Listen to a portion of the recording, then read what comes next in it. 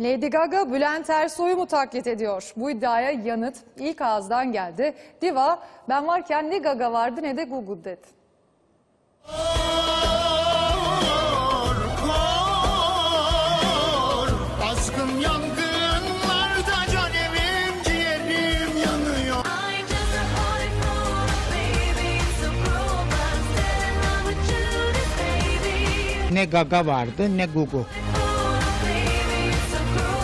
Tırnaklarımı çektin mi? Tımbıl. Bülent Ersoy Lady Gaga'ya meydan okudu. O evcilik oynarken ben vardım dedi.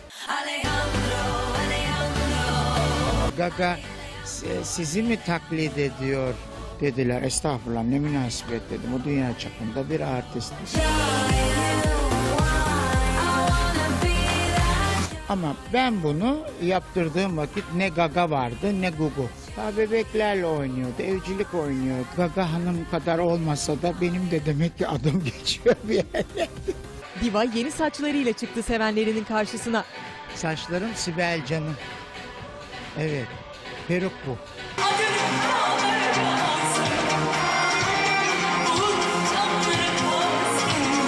Bülent Hanım dedi kulübe gidiyorsunuz bir değişiklik olsun.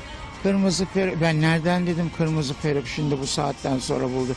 Ay ben dedi size dedi, benim peruk var dedi. Minik Serçe'nin müziği bırakıyorum açıklamasını yok saydı.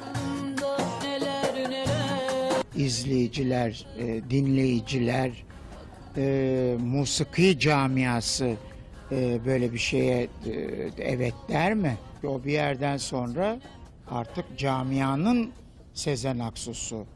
Bülent Ersoy'un hayatı film olacak. Projenin fikir babası ise Diva'yı taklit eden Singapurlu sanatçı Bülent Wongsoy.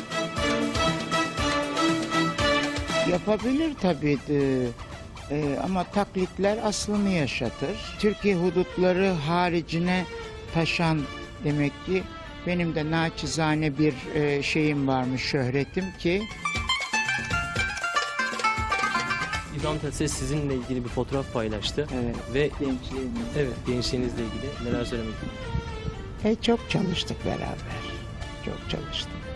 Hep e, o çıktığı vakit benim de makyajımın sonuna gelir. Kirpiği yapıştıracağım. Tutun kollarımdan düşerim şimdi Bir başlardı bir uzun hava okurdu.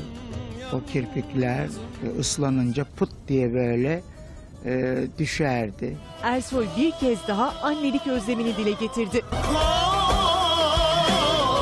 Azgın yangınlarda can evim ciğerim yanıyor Tabiaten Allah bana o özelliği vermemiş. E, olmayacak bir şeyi e, beklemek yanlış olur. evlat sahiplenimek ister O misiniz? olmaz. O başkasının çoluğunla çocuğunla o olmaz. Ben yapamam yani. Ve Fevzi'yi alıyorum. Fevzi! Tesbih tutkunu Diva çantasında tesbih koleksiyonu taşıyor. Kıymetli tesbihler. Böyle Ee, atıyor musunuz Bülent Hanım? Hayır böyle şöyle hapishane işi nereden ayol sende? Hoş hapise girdim ama o işleri bilmiyorum anlamam. Hani bizim sevdamız eritirdi buzları